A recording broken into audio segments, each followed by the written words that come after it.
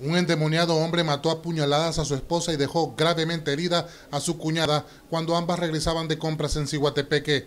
El atacante es Darwin Francisco Mejía, de 30 años, quien se ensañó contra su esposa Norma Escobar, también de 30 años, porque salió a comprar sin su permiso.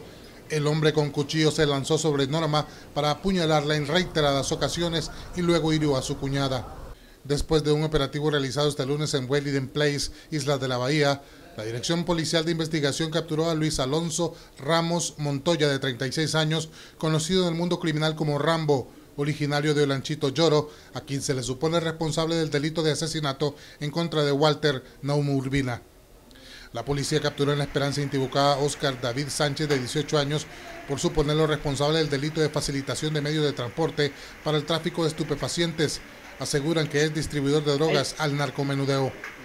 Aldo Emilio III, de oficio electricista, fue capturado por el delito de violación en Choluteca en perjuicio de dos testigos protegidos. Se le detuvo en atención a una orden de captura emitido el 18 de agosto en el juzgado de Choluteca.